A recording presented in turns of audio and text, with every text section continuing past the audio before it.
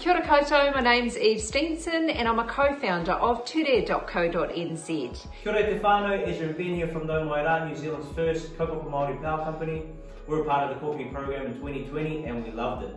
Some of the benefits that we had from the program were the connections that we made and also the $10,000 cash injection. Can't say no to that. And one of the biggest learnings for us was we got to listen to other tech businesses who had been there on the journey before us.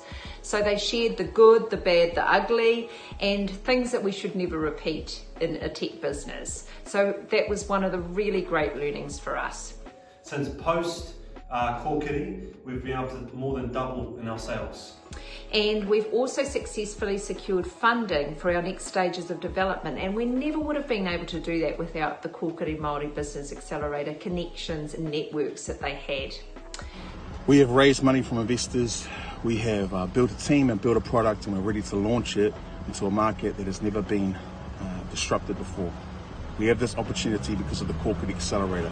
If you're thinking about running a tech business, get involved and start your journey with Kōkiri.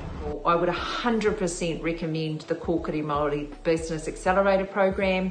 Don't hesitate, apply today. So if you're thinking about joining, join the crew, join the team, you won't regret it. Apply now.